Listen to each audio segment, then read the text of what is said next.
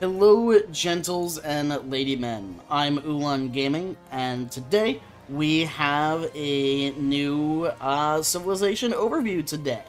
It's been a while since I've done one of these, but today we're covering Malta, one of my favorite civilizations in the game, tied with USA and Aztec.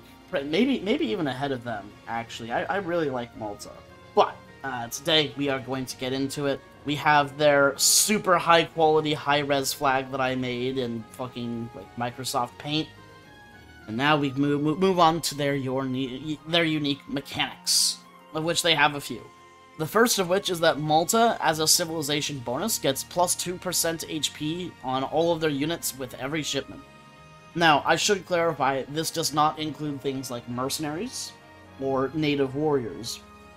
It only specifically refers to Maltese units, which includes anything that you can train out of the barracks or the artillery foundry. So that includes uh, all of their skirmishers like crossbows and fire throwers, all of their heavy infantry like pikemen, hospitallers, and sentinels, and it includes all of their artillery like falconets, culverins, stuff like that. It also includes their explorer and their settlers and the fixed gun building as well. Uh, another unique, the, the, the, next unique mechanic is teleportation. Oh, so we'll, we'll go we'll over that, that next. Uh, is their tongues. So Malta have a unique set of shipments called tongues that allow you to get other units from other civilizations that are considered unique to them and train them for yourself. This includes things like German settler wagons, it includes things like British longbows, Cassadors, Lancers, Cuirassiers, and Opries, like Russian Oprichniks. Uh, you can only train them out of the Malta stable equivalent, which is called the Commandery, which is kind of like a stable blockhouse instead of a. Uh, it's kind of like a stable blockhouse instead of a barracks blockhouse that blockhouses normally are. Uh, the stable blockhouse can also teleport units from one stable block. Uh, the commanderies uh, can teleport units from one commandery to another, which is where that teleportation ability comes in. Now, this ability has a very long cooldown and is not the fastest thing in the world. It takes three seconds for each unit to get into the commandery, and then it takes another five seconds before they're able to deploy from the other one, and oftentimes you'll find that it's just as good to just walk over there. So uh, even though the teleportation ability is nice and can be useful, you'll find yourself not using it more often than more often than not.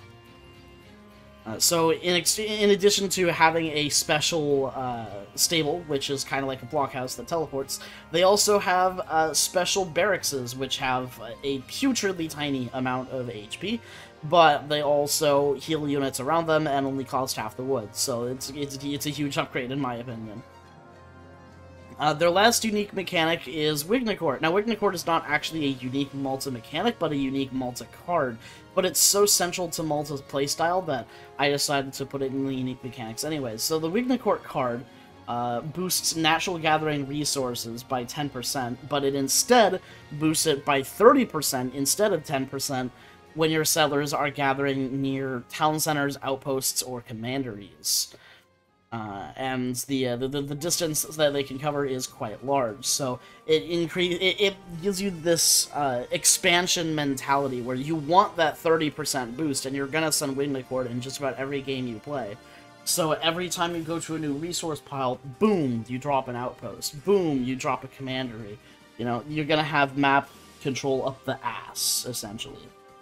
Especially once they get a card later that allows them to train infantry out of their outposts. You just explode. And you can defend pretty much everywhere in the game. Uh, now, their general playstyle is pretty much anything except a Naked Fast Fortress. Uh, I've been trying to get a Naked Fast Fortress to work, so you know, don't quote me on that, but in general, it does feel like Malta has very little reason to actually stay in, to actually rush to Age 3. Uh, they have very important cards like Wignacourt that they just need to get in Age 2, and their only fast Age up option is through a card that you have to spend instead of, you know, Wignacourt. Uh, so there's generally this consensus that if you're fighting Malta, they're going to be in Age 2 for a little bit. Uh, and they are, unfortunately, rather weak to a fast fortress, because even if they do go to the fortress age, you know, they don't have many units that shadow tech, except out of the commandery, which is a little expensive. Um, the and they also don't have a uh, two falconet shipments or any kind of culverin shipments. So uh, they only have the uh, the fixed gun shipment which can kind of make them fit as sitting ducks. Now the fixed gun is very good but if the enemy is clever and can play around it then it's not much use uh, so so that kind of creates the uh, the conundrum of in order to fast fortress to counter fast fortress you you know often just fast fortress yourself and shit to Falconets yourself, but it's not really an option for Malta uh, because they just are not built to play into the Fast Fortress playstyle. Now, for their Age-Up system in here, they have standard basic bitch politicians that all the European civs have, but their their hero, the Grand Master, ain't no basic bitch, let me tell you this. There is a reason that I put the Grand Master as tied with all of the native war for best explorer in the game in my explorer tier list, by the way. You should go check out my explorer tier list. Uh, the Malta Explorer has the increased HP that, like, the USA Generals do, and he maintains the kind of pistol range attack that they have. Uh, and just like the, um, just like the USA explorers, the the, Mex the USA and Mexico explorers, he can also build forts.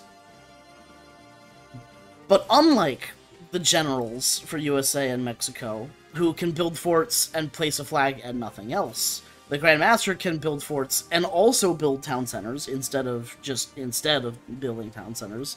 They can also build outposts, also build fixed guns, and can build uh, depots, of which the Explorer is actually your only way to build depots and fix guns. So he is actually extremely important to keep alive, and he'll probably be building most of the game and just littering the map with depots. If you are not littering, if you're a, multiplayer who isn't just littering the map with depots all over the place, you're not you're not doing multi.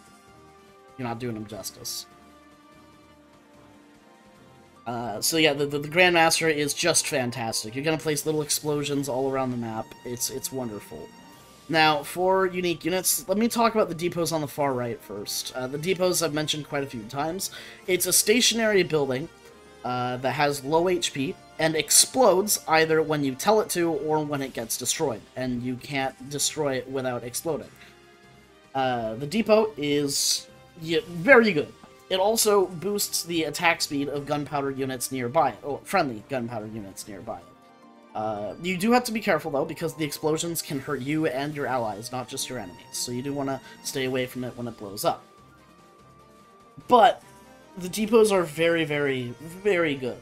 Um, you just litter them all over the place, and your opponent either has to respect the depots because they don't want their whole army to be half HP for a little bit, or they have to, and they have to. Like, they, your enemy has to respect the depots, and if they don't, you know, they're using, they're losing a ton of HP on their army. And when they do respect the depots, then they have to take the time to safely siege them, and you can get away with just kind of letting them siege away and buying yourself minutes upon minutes upon minutes of time that the enemy is is taking to get around you. It's a, a very very valuable tool, uh, the depots. Uh, others include the fixed gun. Now, the fixed gun is uh, just to the left and up one from the depot, which is on the far right. Uh, now, the fixed gun is both a building and an artillery piece, and it has the tags for both of them. Uh, which means it's very, very weak to culverins. Very weak to culverins. Um, the fixed gun is a big boy cannon. It's kind of like a heavy cannon, but available in Age 3, uh, with the with the uh, with, several thousand HP, with the caveat that it can't move and it, can, it has a, a, minimum range, so it cannot fire units that are right underneath it. Uh, it also has range that matches Culverins, and it does have a negative multiplier against artillery, though, much like a heavy cannon. Uh, their other unique units include the uh, Sentinel, which is basically a Doppelsoldner that has less area of effect and more HP.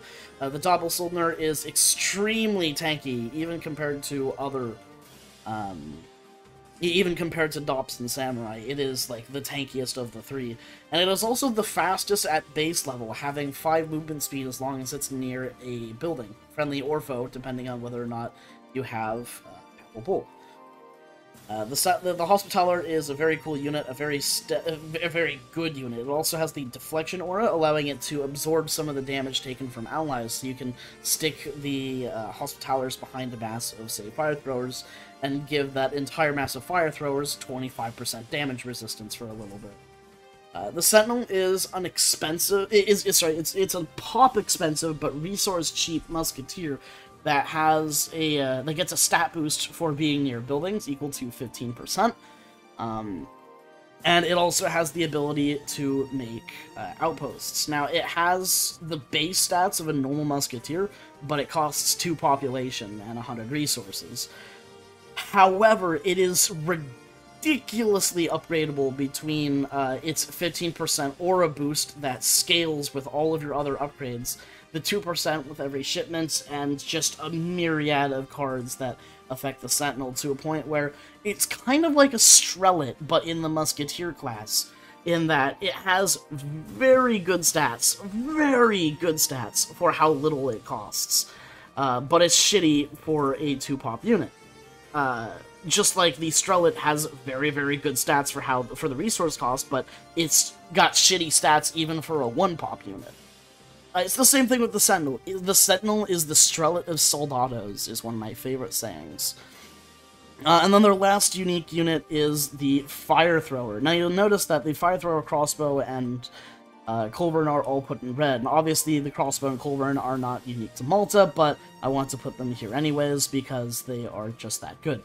Uh, the Fire Thrower is kind of like a Grenadier with Skirmisher tags and multipliers instead of heavy infantry ones. Uh, and it is just a monster of, uh, uh, it is just a monster. You can get like five sentinels and they can easily take out like 15 musketeers without any issues at all. Uh, fire throwers are just insanely good. The, the the biggest problem with fire throwers is that they are tied to the artillery foundry, and so you can't really train them uh, with heavy infantry until you get Deredden Towers and can train them out of your outposts uh, which makes them more ideal for Age 3 instead of Age 2. Uh, even though they are available in Age 2, it's best that you wait till Age 3 before you start making uh, fire throwers.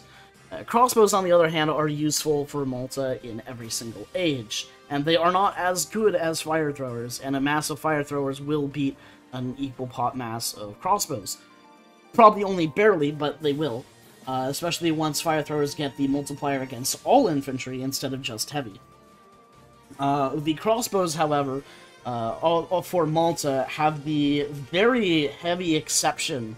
Uh, I think they're basically a Maltese unique unit, essentially, because the Malta crossbow is, like, unique among all other crossbows in that they aren't fucking ass. And in fact, the crossbow is insane for Malta. It has a, a super cheap cost, uh, and it has just a bunch of HP between three combat cards, plus the 2% with every shipment, and just uh, all the things. there's The Malta crossbow has so many stat boosters that you can give it, that it just makes it a little ridiculous. It also has a Royal Guard and Imperial upgrades, so it really turns this unit that's kind of designed for most civs to be only an age 2 unit plus maybe early age 3 into a unit that is useful in every single age at every single point in the game. Uh, the fire thrower will uh, the, the, fire throwers will outperform them. They are also more expensive, costing wood coin. Uh, so there, there's this kind of back and forth. I personally use both of these units, and I love both of them. They are both just fantastic. Uh, there is definitely something to be said, though, that the crossbow is easier to spec into because you can just go food wood for crossbow and then food wood for pikes. Uh, and then the Culverin. Uh, Malta have a Royal Guard Culverin called the Basilisk. Now, the Basilisk gets only plus 10 extra attack. It doesn't get the plus 10 extra HP that the other Royal Guard upgrades come with. But that's perfectly fine, because it also gets plus 2% HP with every single shipment, and when you have 200 base HP, that's plus 4 HP per shipment. So that makes the uh, the Maltese uh, Culver the highest damage and tankiest of any uh, of any Culverin in the entire game without upgrade cards. So there you go. It is just the best Culverin. Malta is the king of Culverins. Uh, now, for primary unit compositions, uh, between all the tongues and all the the, uh, the crazy good units that you have just across the board, Malta can kind of just do anything it damn well pleases. You can go crossbow pike, you can go fire thrower goon, you can go sentinel cannon, you, you can even make lancers, cuirassiers, and opries and just have a, a fucking like heavy cavalry uh, smorgasbord of units that everybody hates except for you. Uh, things to watch out for are the tongues. You know, you gotta watch out for the longbows, the lancers, the cuirassiers, the cazadors, and of course, most importantly, the opries. Now, the cuirassiers and the opries are not available until age 4. But there is definitely a, a, a little panic, a little something in the back of your head that you need to keep in mind. When Malta hits age 4, you want to check their deck. You want to see whether or not they have opries in your deck, because any moment you could see uh, you, you can see a, a, a commandery wagon building a commandery on the horizon. That means there's 13 Opries just hanging around, waiting for the right opportunity to kill your entire damn eco and burn your factories. So that that is the number one thing to watch out for, is definitely just the Opry pop in Age 4. And then be careful of depots, you know. Uh, don't siege them down with, with, like, units up close. Just stay away from them. Depots are dangerous. Depots are dangerous. Depots are dangerous. Can I get that across any clearer? Okay, thank you guys very much for watching. Have a great day, and goodbye.